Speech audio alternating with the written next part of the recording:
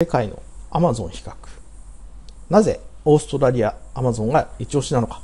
まあ、それについて、まあ、市場が美味しいと、ね、で面倒くさい購入者、ね、あるいは、えー、出品者が多いアメリカとか日本とは状況がだいぶ違うと。いうことをちょっとシェアしたいと思います。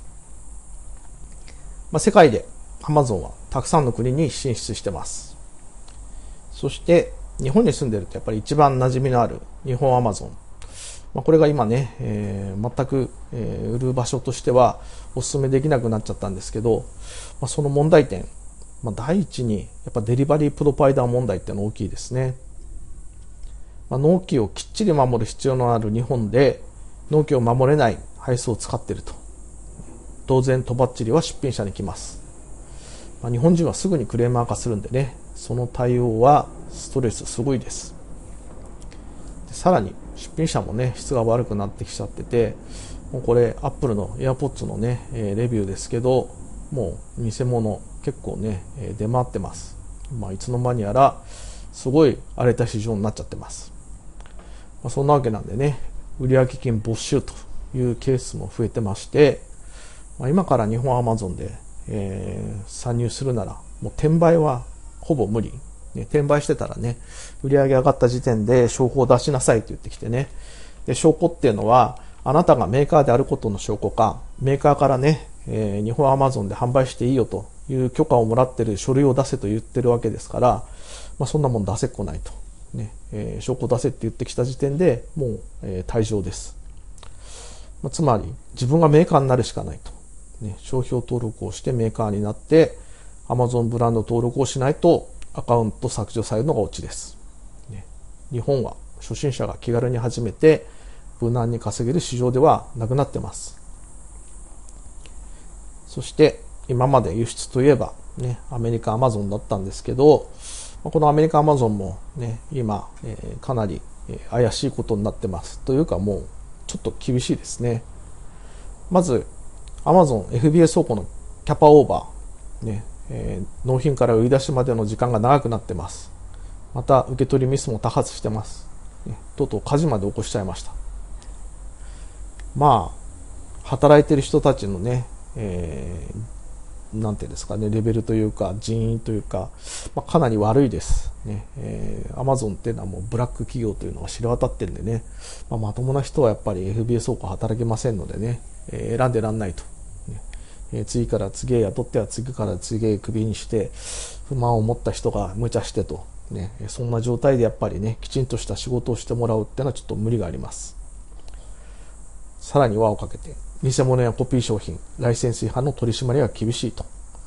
まあ、これ本当アメリカってね、えー、貧しい国なんで、まあ、日本はなんか豊かな国って思ってる人多いですけどアメリカっていうのはね、えー、日本がさらに、えー、末期的に悪くなった状態です。一部のね、えー、それはシアトルとかシリコンバレーとかね、マンハッタンはいいかもしれませんけど、まあ、他はひどいもんなんでね、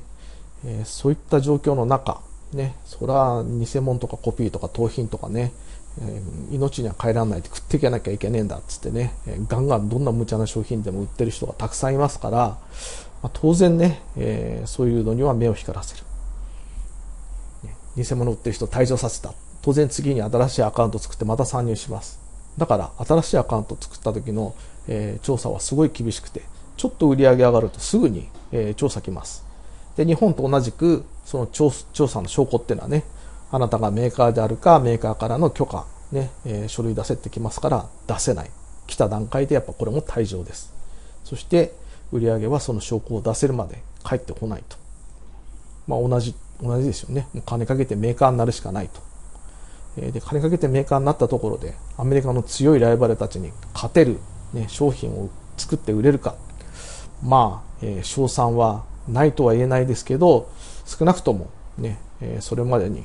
何十商品か何百商品の、えー、テストは必要。で、テストといってもね、小売転売じゃなくてメーカーなんで、小売転売よりも何十倍もお金かかりますんでね。まあ、副業で試しにやってみるっていう、え、場所じゃないです。まあ、一方、オーストラリア、アマゾン。まあ、このメリットは、日本とアマゾンの問題点がないこと。ね、何しろ始まったばっかりなんで、そんなこと言ってたらね、出品者集まりませんし、えー、そんな、そんなの退場させてたらね、新たな出品者入ってこなくなっちゃいますから、もうかなりね、えー、同じ Amazon とは思えないぐらい、えー、ゆるゆる、ルーズ、ね、優しいです。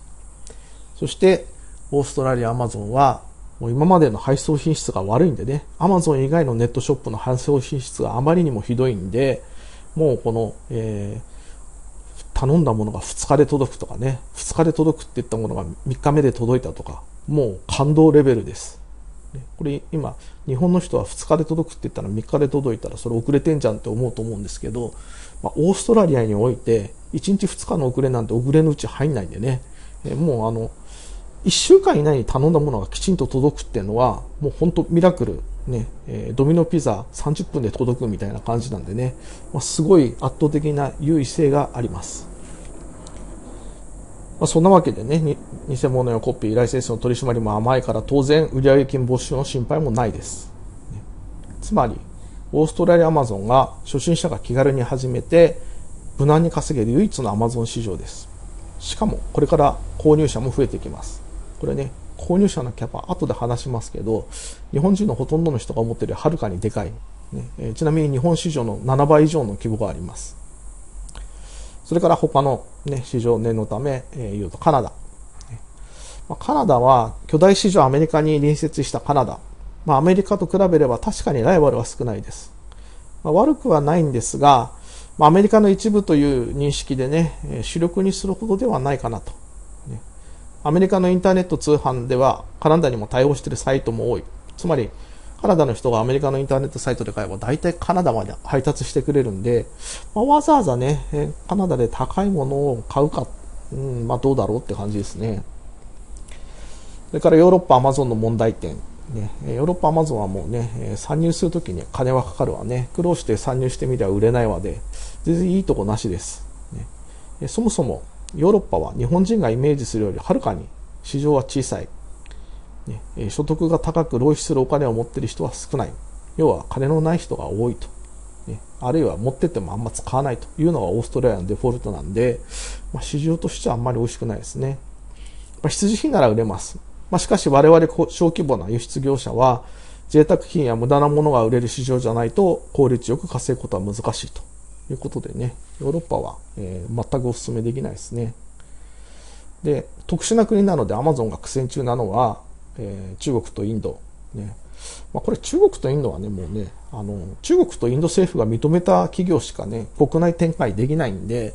まあ、アマゾンといえどもちょっと厳しいでしょうね。えー、何か状況が変われば、えー、良くなるのかもしれないですけど、まあ何しろ、ね、中国とインドは特殊なんで、アマゾンといえどもうまくいってないと。で未確認なのがブラジルとメキシコとトルコ。ね、でトルコはまだしもブラジルとメキシコはね、まあ、えー、スムーズ、オーストラリア以上にスムーズに物事が省くとは、運ぶとは思えない。というか、すごいトラブルに毎日見舞われるんじゃないかっていう嫌な予感しかしないんでね、えー、ちょっとこれは、えー、確認してから、ね、でも、うん、確認しに行くのもちょっとね、ブラジルとメキシコ、ためらわれる場所なんで、まあ、ずっとやらないかもしれないですけどね、未確認です。まあ、トルコについてはね、えー、まあ、確認してやろうかなと思ったこともあるんですけど、まあ、アメリカの制裁やらなんなんやらでね、えー、トルコリラがすごい安くなっちゃってるんでね、まあ、まあどうだろう。リラがすごい落ちてるってことはね、えー、売上利益を取るのが厳しいんで、これもちょっとね、しばらく様子見かなという感じです。でそんなわけで、まあ、えー、市場のね、特性としてはもうオーストラリアが一押しなんですけど、まあこれね、今、市場がどのぐらいの成熟度合いかっていうのを考えても、まあオーストラリアは非常に有望です。これあの、どうやって市場が大きくなっていくかっていうね、え、グラフなんですけど、まあ、イノベーター、ね、新しいもの好きの浪費家、楽天家の人が、まず参入すると。まあ、この頃はね、えー、変わったものがすごい高く売れたりするんですけど、ただ市場規模はすごいちっちゃいと。ね。で、アーリーアダプター、ね、この辺の人が参入してきたところが、まあ一番ね、えー、ニッチな商品見つけると美味しいところなんですけど、まあやっぱ市場規模としてはいまいち大きくもない。で、アーリーアダプター、あアーリーマジョリティ、ね、これが参入してきたところが非常に美味しい市場、ね、ヤフオクも eBay も日本アマゾンもアメリカアマゾンもこのアーリーマジョリティまでしか、ね、購入者にいなかった頃はあるいはね出品者でいなかった頃はすごい美味しい市場でしたところが現在はねえー、レートマジョリティを通り越してラガードまで全てもうね、囲い込んでます。日本とアメリカ、アマゾンは出品者、ね、購入者ともにこのラガードまでいますんで、まあややこしい市場になっちゃってます。まあ多分に、えー、独断が入ってますけど、ただね、えー、もしも今までヤフオク昔からやってるとかね、えー、日本アマゾン昔からやってるって人はうなずけるとこだと思うんですけど、まあ、イノベーターっていうのは先ほど言ったように楽天的、浪費家、ね、間違えた商品が届いても面白がるような人たちと。で、アーリーアダプターはそれに近い。で、アーリーマジョリティっていうのは、まあ、普通の人たち、ね、えー、そんなに、えー、暇人でもなきゃ便利だから使ってみようってそうです。ここまでが非常に美味しい、えー、プラットフォームの、えー、醍醐味です。で、そこから先、レートマジョリティが入ってくると、まあね、結構財布の日も硬い慎重派の人なんでね。でしかも暇なんですよ。で商品にも厳しいんでまあ大して高くいもんでもないのにね、えー、これは新品じゃないと、ね、クレームつけたりする人たちが出てくるのはこのレートマジョリティ、ね、アメリカとか日本アマゾンでもね商品に厳しい人が入ってきたのはある程度シェア拡大したと要はこの人たちが入ってくるとちょっとややなんかややこしい予感がしてきますでも完全にね、え、シェア、もうアメリカなんかだとね、インターネット使ってる人はみんな Amazon 使ってるぐらいの勢いで Amazon ね、使ってますんで、そうなるとこのラガードも入ってます。ね。まあラガード、要は頑固者のクレーマー、普通の商品なのになんかケチつけると。要は暇だから構ってほしい人とかね、そういう人まで入ってきちゃってますんで、まあかなりややこしいことになっちゃってます。でそんなめんどくさい市場になったアメリカ Amazon より、まあ、これから面白くなるオーストラリアアマゾンに注力することをお勧めしますでちなみにオーストラリアアマゾンは日本アマゾンの約7倍の市場規模と、ねまあ、どういうことかというと日本人はラガードまで入れて1兆円ちょっと1兆1000億円とかそんなものの売り上げです。でオーストラリアはアーリーマジョリティが参入すれば7.8兆円と、ね、これはオーストラリアの経済研究所の予測でオーストラリアアマゾンは3年後にオーストラリア第6位の小売業者になると。で、3年後の売上予測は7.8兆円というのをね、発表してるんですけど、要はオーストラリアはこのアーリーマジョリティまでのね、美味しいプラットフォームになった段階で7兆8000億円。一方、日本はこのラガードまで入って、ね、1兆1000億円。当然、ストレスなく、えー、楽しく、ね、稼げるのはオーストラリア、アマゾンです。まあ、日本で仕入れてオーストラリアに輸出するのが一番のおすすめ。アマゾンオーストラリア副業で今の本業より稼ぐことができるチャンスがやってきます。ここをクリックしてオーストラリアアマゾン輸出サポート申し込みページを見てください。まあ、実際にオーストラリアで高く売れた商品やそのオーストラリアアマゾンで稼ぐためのサポート、ね、どんなサポートをしていくらかかるか、まあ、そういった情報を載せてます。まあ、こちらをクリックして、えー、情報をチェックしてください。まあ、今動画で見ててね、クリックしても何も起こんないよという方はね、説明欄に URL が載ってるんで、そちらをクリックして、え、オーストラリアアマゾン輸出サポート申し込みページを見てください。以上、堀秀夫でした。